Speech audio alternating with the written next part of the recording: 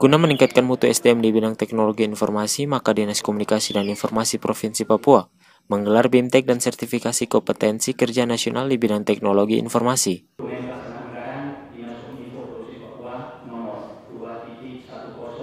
BIMTEK ini bertujuan untuk mendidik SDM Papua yang handal di bidang teknologi informasi, guna mendukung pelaksanaan PON ke-20 tahun 2020 di Papua.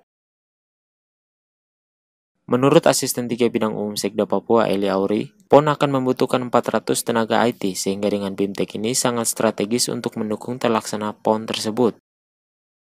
Kegiatan akan. Mengikuti BIMTEK ini, nanti adik-adik diberikan satu sertifikat.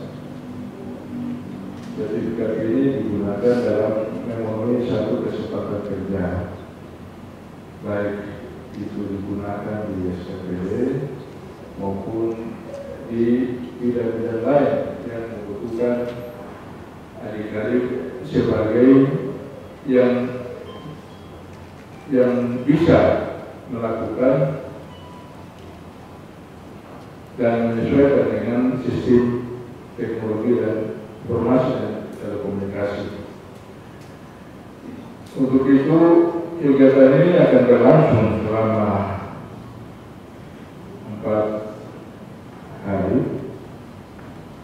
Saya harapkan ini dapat diikuti yang tadinya dari dinas ini memprogramkan 150 Asisten 3 Bidang Umum Sekda Papua, Eli Auri menambahkan, Dinas Komunikasi dan Informasi harus terus melakukan kegiatan seperti ini agar kuota tenaga IT bisa terpenuhi.